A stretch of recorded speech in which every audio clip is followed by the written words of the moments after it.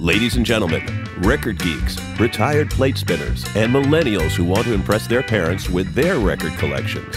Welcome to the Rhino Cast podcast, brought to you by Rhino Records. Get ready for new releases, deep tracks, and conversations with your favorite artists and bands, and balloons for the kiddies. And now, your hosts with the most, Rich Mahan and Dennis the Menace. On this episode of the Rhino Podcast, Dennis sits down with none other than Linda Ronstadt to discuss her new release, Live in Hollywood.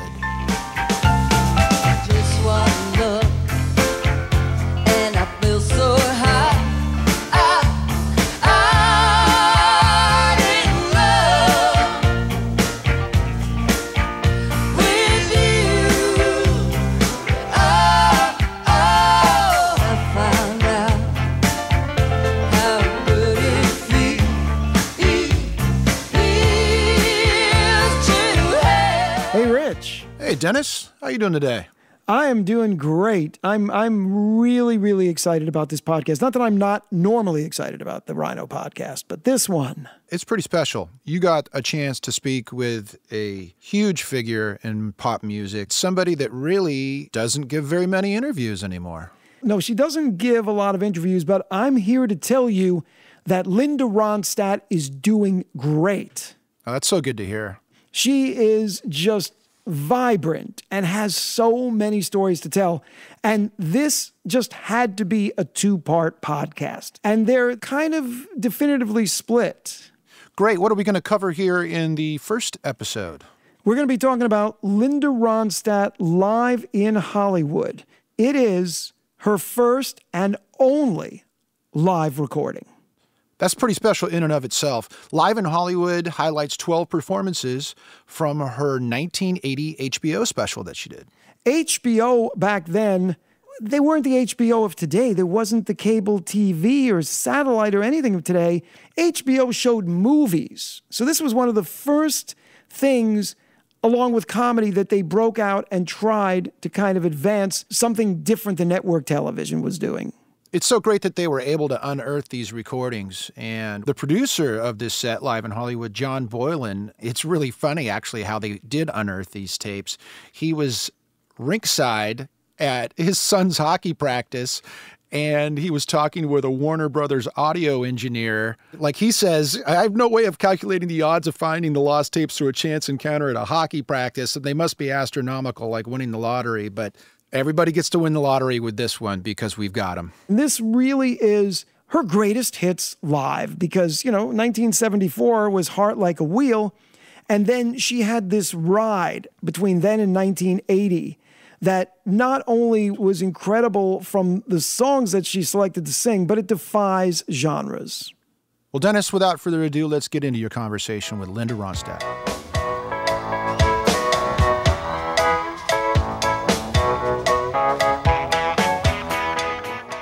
Would you introduce yourself, please? I'm Linda Ronstadt. You are incredible. You- You're not going to do the songwriter, rock tour, owner of Tucker the Cat, or I'm not much of a songwriter. I only wrote a few songs. is Live in Hollywood your first and only live album? Did you have another live album? You know, I don't think we ever did make a live album. I don't think I don't think you did. I think this I like is being in the studio so much. Why bother? You know, if you Yeah. make a mistake, you can fix it in the studio. Yeah, thank goodness. The recording happened, and we'll take you back. It was April 1980, and it was pretty much upon the release of Mad Love. And that was interesting. It was the turn of the decade, right? 1980 was an interesting, interesting moment in time. Yeah, well, I was looking for something new to do. I, it was year I went to Broadway and and uh, sang in Gilbert and Sullivan's Pirates of Penzance. So I was on my way to do that, but I was just looking around for songs, and Wendy Waldman introduced me to an interesting songwriter whose name I can't remember right now. He was just writing these really good songs, so I recorded a couple of his. You know, I did the same thing I always do. I find a an old hit that I love a lot. In this case, "Hurt So Bad." and um, oh, a song that the Hollies did. I can't let go. I can't let go. I love that song. Yeah, we're gonna we're gonna get into some of the songs. So this was really interesting because it was an HBO special. And you know, think about HBO 1980, you know, that's so long ago. at Television Center Studios in Hollywood. So it was a studio environment. Right.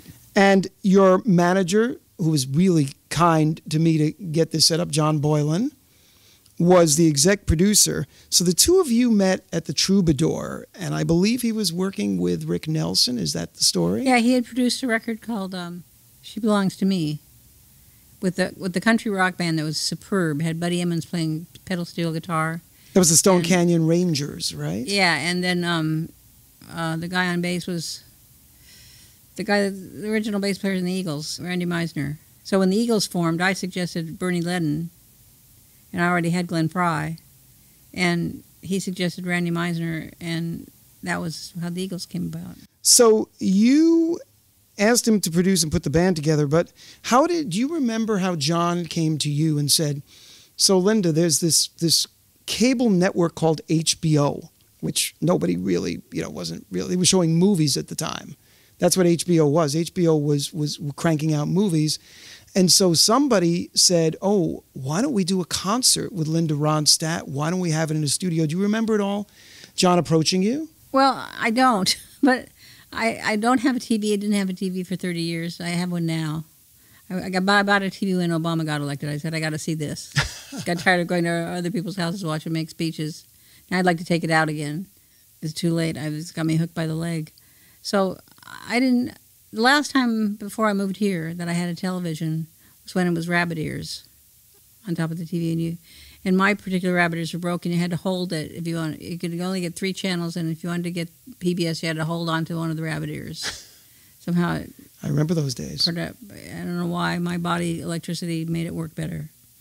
So I didn't watch a lot of television, and I didn't understand HBO or any of that stuff. I just knew that I didn't like to be on television, so I always avoided television at all costs. before we get into the songs, one of the, one of the things you've said, which is kind of interesting, and I, I read this in another conversation. You've said that you feel like your music's frozen in time. Yeah, it's, when I sing, I sing something a little different here and a little different there. I mean something here, I mean something there. I discover something that's better. So when I'm recording, I'm just working it out.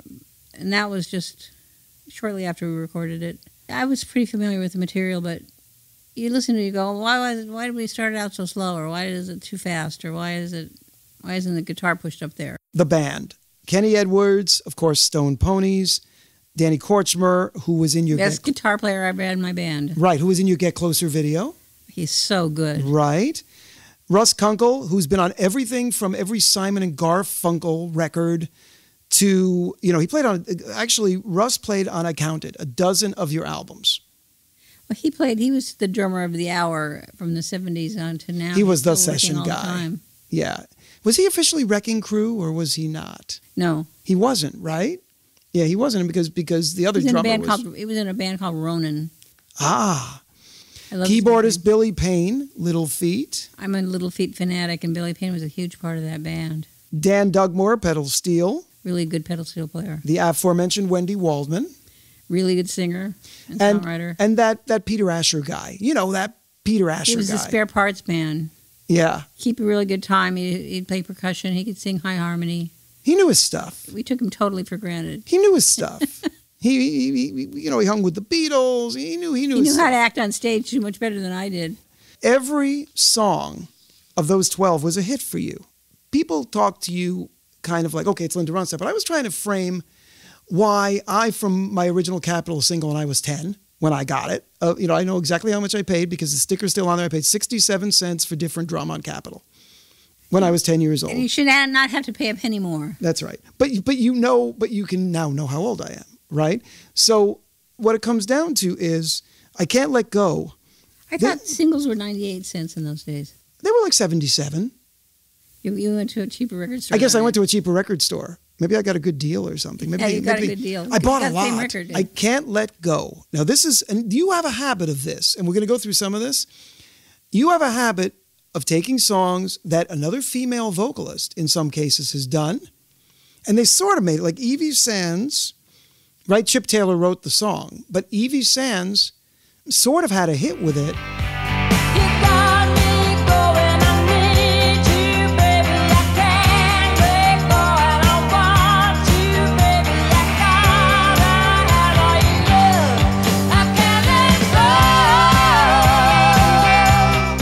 Hurt So Bad. That was a number eight single for you, but Little Anthony and the Imperials, right? Did the original. So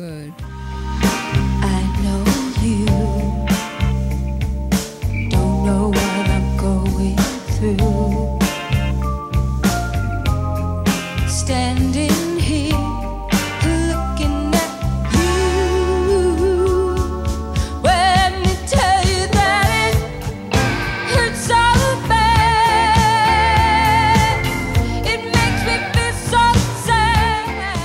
Of all the the things in terms of songs, Warren Zevon was kind of a challenge. His songs didn't meet the, I don't want to say meter, I don't want to put words in your mouth, but you kind of said it was a tricky, tricky slope with Warren. It was hard to fit in his songs into my voice sometimes. So tell me more about One that. I missed was accidentally like a martyr. I always wanted to record that. Oh, what a great song. Oh, you could have killed on that. But but let but talk to me about not fitting your voice. Is it more because you were like this and he was like da da da da because he was jittery? I need to have a long, high. I don't like short note songs. I don't like singing a lot of short notes. And he's jittery. He's like bum bum bum bum bum bum bum yeah, bum. but, but but poor pitiful me had a good chorus. Yes, it did. Oh, so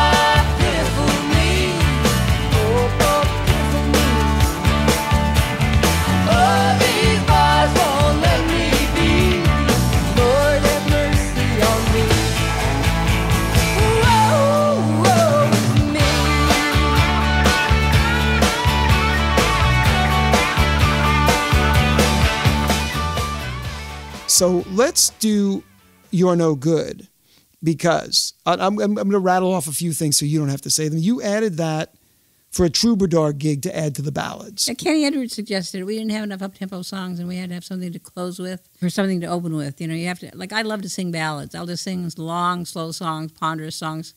Heart Right. Like a Wheel. I love Heart Like a Wheel. Or Talk to Me a Mendocino, any of those McGarrigle Sisters songs.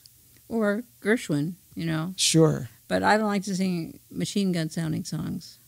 Well, like them. it's certainly like a them. I love balance to what's new. it's slightly, I know. slightly different, right? You know, a whole bunch of ballads, you have to have an up tempo song so you get a swing song. Yep. So Yep. that was the up tempo offering to the structure of the set. But again, back to originals. And this is where I kind of connect the dots. The you know who the original original original was? Dee Dee Warwick. Really? Yep, Dionne's sister did the original original. And then and then Betty Everett. Oh, I love Betty Everett. Yeah, but no, it was Dee Dee oh, love Warwick originally. It was Dee Dee Warwick originally. And Betty Everett only brought it, I, I looked this up, to number 51 on the charts. So what's interesting about all that is that if you say to somebody, you're no good, it's a Linda Ronstadt song. Well, I only knew how to sing it like I knew how to sing it, you know. I didn't know how to sing very well at that time. People would debate that. That's very that's very kind of you to say, but people people would debate that. You know, I mean, obviously you could say you had great producers. Well, I thought Peter Asher did a great job on that production. I think that was the best production he ever did for me. Yeah. It was subtle. It had great arrangement. It had great string parts coming in at certain parts. It had great guitar parts that he and Andrew Gold did. Well, especially the end, the to the fade. Yeah, that that to the fade.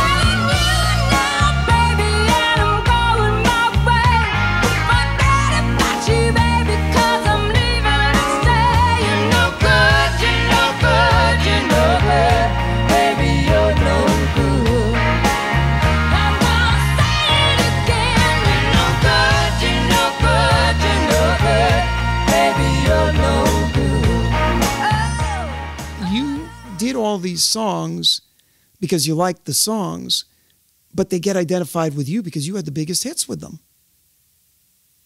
I mean, I can't think of any, I can't think of very many artists that can say that the body of their work are songs they didn't write, but but they had the biggest hits with them. Well, it always seemed to me that not everybody could write their own songs. You know, there are a lot of mediocre songs out there.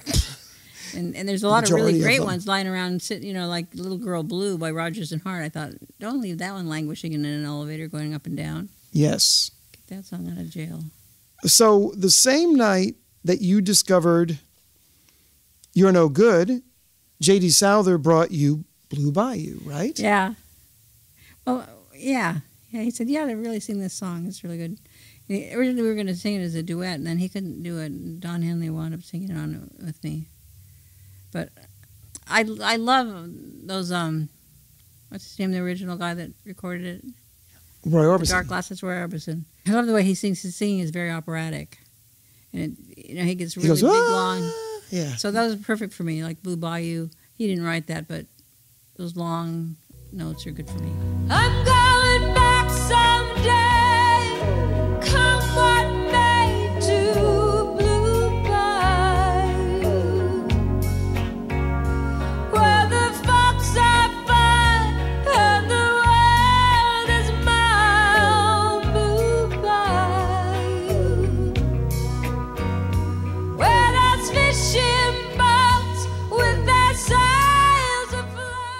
And then Faithless Love was another J.D. Souther song. Yeah, he wrote such good songs. You know, we were living together, and he'd be in, in the living room pounding away on the piano or on the guitar, and I'd sneak around the corner and listen. And they were just beautiful songs. and I just totally took them for granted. Well, of course he writes good songs. He's JD. He's a songwriter. faithless love, like a river flows, like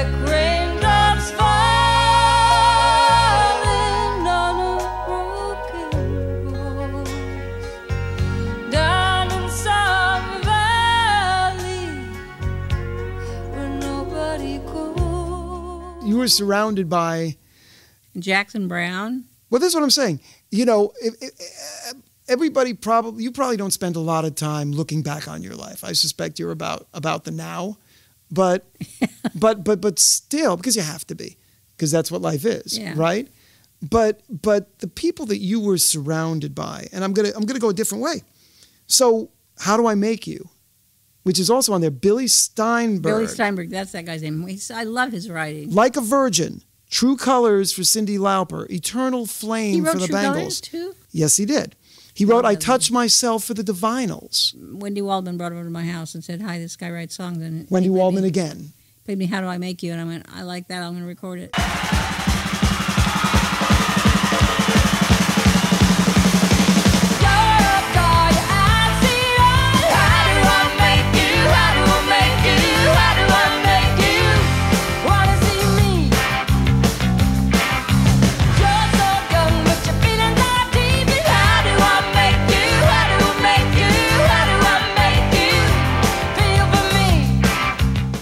Written about, the word country comes up again and again and again and again and again, right? And they say country. And now today we have alt country and we have country and this and we have, you know, we have all these genres. But if you take a song and you make it your own, How Do I Make You fits right up there with all the new wave songs that were coming up of the era. But that was just what I got from Billy Steinberg. I thought it was a good song. I know. I wasn't trying to do any ism, you know. But isn't but isn't that the point? Isn't that were you ever trying to do an ism No. in all these songs? If I found a song I really admired it and it told my story, I had to sing it. Then that's Even it. if- Even if it didn't like me. Sometimes the song didn't like me. and I couldn't sing it very well. I understand. It Oh, didn't like me as much as I liked it. But I thought How Did I Make You was successful. I thought it was good. back in the USA, you know, Chuck Berry. That's rock and roll. I love Chuck Berry. It was another one of those things you had to have an up-tempo song. And Waddy liked playing that on the guitar.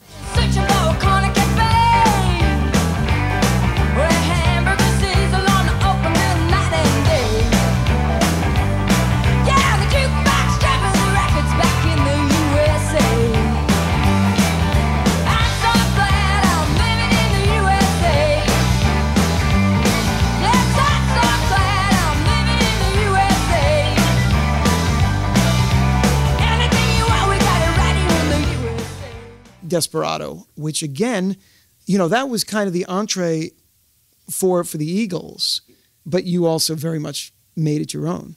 Well, I was just doing my best to copy Don. when I heard it, I think it was on their their record that they made. Maybe the record was called Desperado. It was a, they, the cover had a bunch of like they'd been uh, gunfight at the OK Corral. They Yep. dressed up as cowboys. Yep. And I just thought it was the most beautiful song, and I really wanted to sing it. But I, Don had sung it so beautifully, and I thought they, they owned it then, and I couldn't take it. But then I did it anyway. Desperado, why don't you come to your senses? You've been out your fences for so long now. Oh, you hard one. I know Do you remember anything about that moment in time other than you went to a studio and you did a live album and you were kind of like, ooh, a live show kind of thing? It was just really hot, and I was just afraid it was going to be on television. It was going to look bad, and we did our best, but it was so hot. They had the, the room lit with those great big lights, you know, Oh, yeah. and we were. I don't mean wine, but it was. You wouldn't put people working in a field in that kind of heat. God, I feel like a chicken fried steak, I swear to God. I'm going to introduce you to the band. First of all, on electric guitar and pedal steel, Dan Dugmore.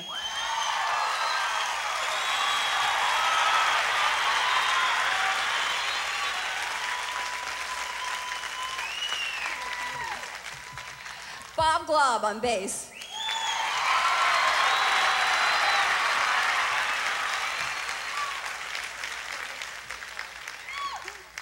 Russ Kunkel on drums.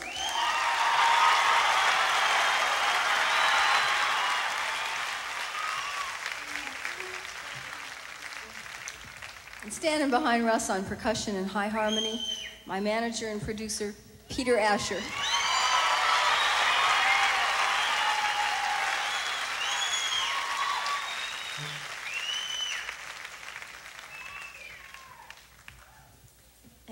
Amazing singer and songwriter and a wonderful guitar player, my friend Danny Kortchmar.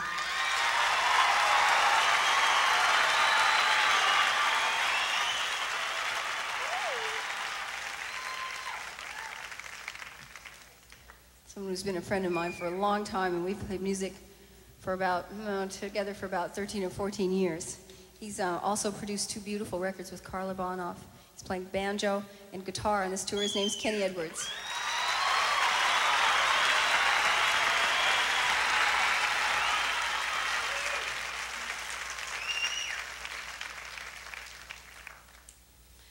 Somebody that I first heard playing piano and he was with a band called Little Feat. His name's Billy Payne.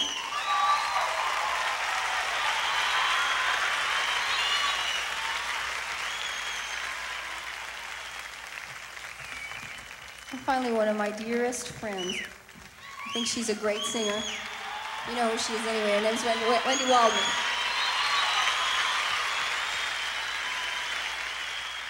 And if you give me